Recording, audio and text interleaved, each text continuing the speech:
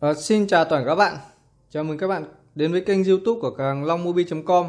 Thì trong cái video ngày hôm nay mình sẽ giới thiệu với các bạn một cái sản phẩm mới Đó là cái Music Saver uh, PI Mio 2020 Thì uh, trước khi vào video thì các bạn uh, dành ra 10 giây để like và subscribe kênh của mình nhé. Nhớ ấn chuông để thường xuyên cập nhật những video mới nhất từ shop mình. Thì shop mình thường xuyên review những sản phẩm về đác nghe nhạc, Music Saver và uh, lọc nguồn. Thì trong cái video ngày hôm nay mình sẽ tiến hành ờ, review các cái thành phần chính của cái ờ, Music Saver Pimio Advan 2020 thì ờ, trái tim của cái Music Saver này là một cái máy tính mini Raspberry P4 phiên bản RAM 2GB nhé. Thì cái máy tính này nó rất là nổi tiếng trên thế giới và có rất nhiều công dụng khác nhau. Nhiều công dụng thì nó không thống kê được luôn. Thì cái phiên bản này là phiên bản uh, P4 này các bạn nhìn ờ, các thông số kỹ thuật của nó nhé.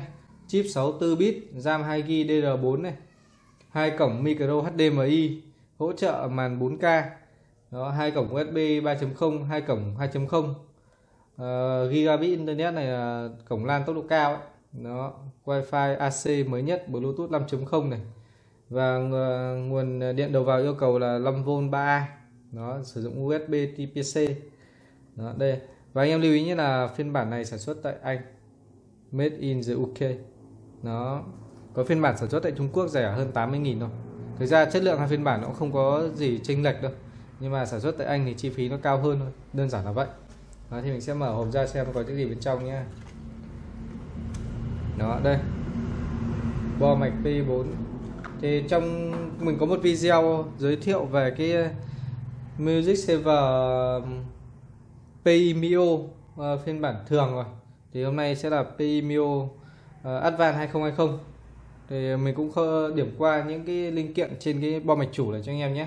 Thứ nhất đây là vị trí uh, chip xử lý này 64 bit này RAM DDR4 này Wi-Fi AC và Bluetooth 5.0 này. Hai cổng micro HDMI hỗ trợ hai màn 4K luôn. Cổng nguồn vào USB Type-C này. Đó. Ở đây là cổng âm thanh âm thanh ra 3.5 nhé đây là hai cổng USB 2.0 USB 3.0 LAN gigabit này đó. Thì đây là tổng thể của cái máy tính mini nhỏ gọn trong lòng bàn tay luôn. Nó rất là nhỏ gọn đúng không? Tuy nhỏ này nhưng mà sức mạnh của nó rất tuyệt vời và rất nhiều ứng dụng luôn. Đó anh em lưu ý nhé. Ờ, à, một nữa nhấn mạnh lại nhé made in the UK nhập trực tiếp từ Anh. Đó. Phía dưới này là khe cắm thẻ nhớ micro SD nhé. Anh em lưu ý nhé là để sử dụng cái uh, uh, Music PIMIO PI 2020 này anh em cần sử dụng thẻ nhớ Class 10 nhé. Dung lượng tối thiểu 8GB nhưng mình dùng thẻ 32GB tốc độ cao Class 10 đây. Đó. À, không dùng thẻ cũ thẻ tốc độ thấp thì vì sử dụng thẻ tốc độ thấp ấy, máy nó sẽ hoạt động không ổn định. Và kia uh, Raspberry Pi uh, là cái Music Saver PMU 2020 này thì mình uh, xây dựng dựa trên yêu cầu của người dùng. Đó là một cái máy Music và nhỏ gọn gắn ổ cứng bên trong luôn không dườm già như phiên bản à, là uh, PMU giá rẻ mình có review trước đó. Đó thì uh, mình có lưu ý anh em nhé để sử dụng cái uh, PMU 2020 này với một ổ cứng ấy thì anh em buộc lòng phải sử dụng nguồn 5V 4A trở lên thì uh, theo khuyến cáo của sản xuất là cái này nó sử dụng uh, nguồn 5V 3A ờ, nhé. Nhưng mà để sử dụng ổ cứng thì phải dùng nguồn 5V 4A anh em lưu ý cho mình nhé. Mình cũng đã nhập sẵn cái nguồn 5V 4A rất là xịn sò đây. Mình sẽ bỏ cho anh em xem. Đây, bây giờ kia là hai cái chân cắm theo từng thị trường nhé. Cái nguồn này rất là xịn đấy. Đó, hai thị trường khác nhau này. Chân dẹp và chân tròn tùy anh em. Đây là nguồn uh, chất lượng cao anh em nhé chứ không phải nguồn uh, rẻ à? tiền bán trên thị trường 50 60 nghìn đâu. Nguồn này 300 nghìn đấy. Đó. nói luôn giá cho anh em biết. Nếu anh em đã xem video trước của mình về cái PI Mio uh, ờ, thường đây kìa thì cái cục riêng cục nguồn này mình đã mua uh, mua 300 nghìn chưa kể dây rồi. Còn uh, khi sử dụng sang 2020 này nó dùng nguồn uh, chân uh, chân uh, này nên là nó đi kèm dây luôn. Em lưu ý nhá. Nguồn ra này 5V 4A đó hàng rất là xịn cầm rất là chắc tay và có các cái uh, chân cắm tùy thuộc theo từng môi trường khác nhau. Ừ, em lưu ý dùng mình nhé là không lên tiếp tiền mua nguồn xịn đâu nhé dùng nguồn xịn này uh, nó rất là đảm bảo cho thiết bị hoạt động ổn định luôn. Đó thì mình giới thiệu cái nguồn như vậy. Tiếp theo là đến cái ổ cứng này. Cái ổ cứng này thì uh, hàng chính hãng tem Thùy Linh bảo hành 2 năm. Nói không với hàng kém chất lượng hàng lắp ca mấy ổ cứng lắp cam này nó giá rất là rẻ thôi. Nhưng mà ổ cứng uh, uh, chính hãng này nó giá rất, rất là mắc. Và nhiều anh em hỏi là lên mổ 1T, 2T hay là 3T, 4T thì mình khuyên anh em là mua nổ 1T thôi. Tại vì ờ, có nhiều nhạc hơn nữa thì cái thời gian anh em dành ra sẽ để xóa nhạc còn nhiều hơn thời gian nghe nhạc luôn. 2T với lại 4.000 bài hát rồi 4.000 bài à 4.000 CD mỗi CD 10 bài.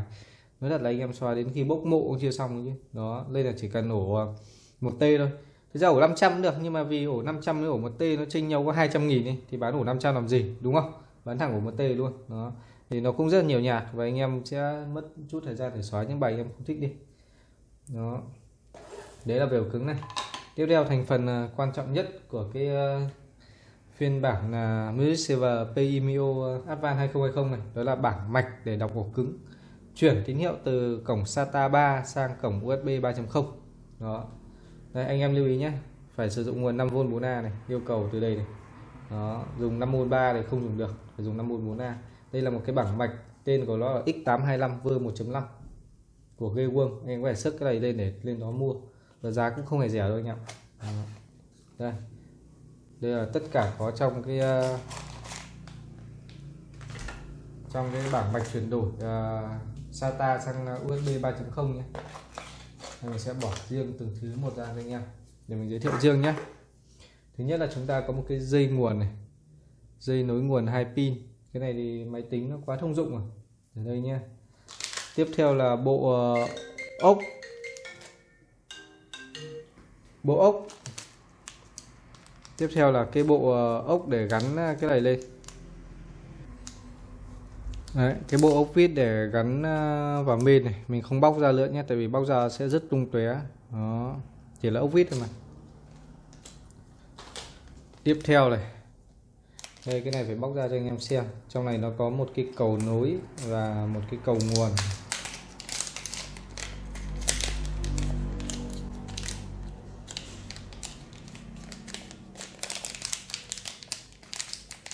À, có lấy ra đấy. đấy cái này đây là cái cầu nối cầu nối USB 3.1 này. Để nối hai cổng USB lại với nhau. Nó rất là quan trọng luôn. Hàng chế. Tiếp theo là cái này. Ờ, uh, rắc chuyển đổi nguồn hai pin nhé. Để sử dụng với cái dây nguồn lúc nãy. Đây dây nguồn này với này cái này nó gắn vào. Đây sẽ là một bộ này. Đó 5V đó. Như này. Đó và đây nhân vật chính của chúng ta thiết bị quan trọng nhất để cấu tạo lên cái uh, Music Server PMIO Advanced 2020 này. Bảng mạch X825 V 1.5 nó trong cái bảng mạch này thì có rất nhiều cái uh, chức năng. Đó, đây chúng ta có thể gắn ổ cứng vào đây nhé. Đây ổ cứng đây. Chúng ta gắn ổ cứng vào dưới này. Có thể gắn ổ uh, HDD hoặc là SDD đều được nhé. Đấy gắn vào đây nhé. Nó đây là hai cái lỗ ốc để bắt uh, ổ cứng này. Đó, mình chưa bắt vậy nhé. Đây là rác cắm nguồn. Và chúng ta sẽ sử dụng nguồn ờ, uh, 5V như này. Đó, gắn vào đây. Đó. Và đây là những cái rắc cái này là những cái rắc uh, ờ, đầu ra của nguồn 5V nhé để nối với lại PMIO đó. đây là cái uh, phím chức năng này để nếu mà chúng ta sử dụng cái PMU này như một cái NAT thì sẽ cần nó tự động khởi động cùng với lại cái cái cái music server kia. Thì đây sẽ là chức năng đấy. Auto on, auto off đấy auto on là khi nào chúng ta mở mở PMU lên thì nó sẽ tự bật. Nó auto off là sẽ tắt khi mà PMU tắt. Nó đây là đầu ra nguồn 5V này. đó. Đấy cuối cùng nhá cuối cùng là một cái vỏ hộp. Vỏ hộp để chứa đựng toàn bộ những cái thiết bị này bên trong. Đó đây là cái cast hay vỏ của cái ờ, uh, PMU này. Đó nó đã thiết kế rất là vừa vặn này anh em chỉ việc về lắp ráp lại với nhau là xong thôi.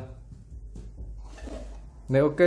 Thì, um, hiện tại ở đây mình đã có một cái đã lắp sẵn thì đây sẽ là hình dạng nó như này.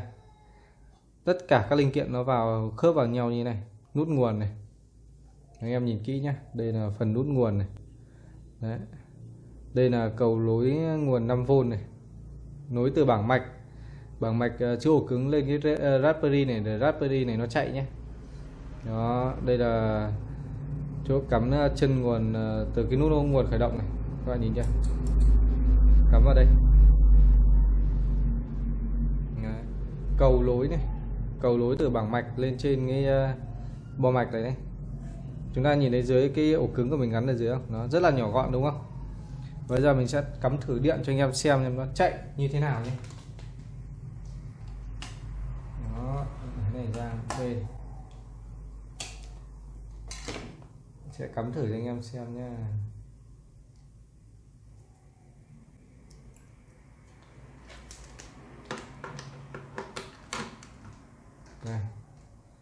cắm nguồn vào nó sẽ như này. Và khi mình ấn khởi động nhé.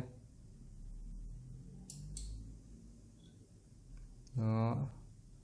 rất là nhỏ gọn đúng không anh em?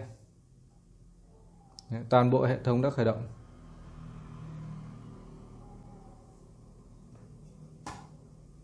Đây, hình dáng nhé. Rất là nhỏ gọn đúng không anh em? Khởi động cái uh, Music Server TI Mio 2020 này rất là nhanh. Chỉ mất khoảng độ ờ, uh, 10 giây thôi.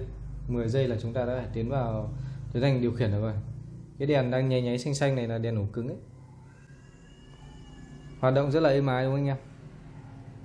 Và các bạn lưu ý nhé là cái nắp này trên cái lắp của cái ấy này nó trang bị một cái quạt tản nhiệt nhé rất là nhỏ. Thổi thẳng vào con chip uh, thôi thẳng vào con chip uh, vi xử lý này luôn. Đó. Con vi xử lý này khi chạy nó sẽ rất là nóng. Nó đã có nhôm tản nhiệt rồi. Nhưng mà nếu mà thêm một cái quạt tản nhiệt này nó sẽ hiệu quả hơn. Và anh em lưu ý nha quạt tản nhiệt khi lắp vào chạy cực kỳ êm ái không có một tiếng động nào luôn. Đó quạt quạt tản nhiệt chúng ta sẽ gắn vào đây đó. đây mình sẽ tiến hành gắn cho anh em xem nhé quạt tản nhiệt đang chạy rất là êm đúng không anh em? Anh em không nghe thấy tiếng động gì luôn. Đó. rất là êm không có một tiếng động gì.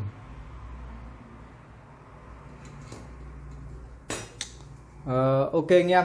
Thì đây là cái video uh, review sản phẩm uh, uh, Music Saver PI Mio Advan 2020 được cảng longmovie.com thì uh, anh em có bất kể thắc mắc gì thì cứ comment lại bên dưới nhé. Mình rất sẵn lòng được giải đáp cho anh em biết. Đó thì uh, mình có đặt link mua hàng trong phần mô tả. Nếu anh em nào uh, cần mua hàng thì cứ đặt link bên dưới. Và nếu có vấn đề gì thắc mắc ấy cứ mạnh dạn uh, khôn cho mình. Mình sẽ rất sẵn lòng được giải đáp. Và em một nhìn lại một lần nữa cái music và PMIO Advan 2020 nhé. Đó rất là đẹp đúng không? Đó và nhớ like và subscribe ủng hộ kênh của mình nhé. Và uh, comment lại bên dưới nếu mà bạn có bất kể cái điều gì thắc mắc. Đó. hẹn gặp lại anh em trong những video tiếp theo. Xin cảm ơn.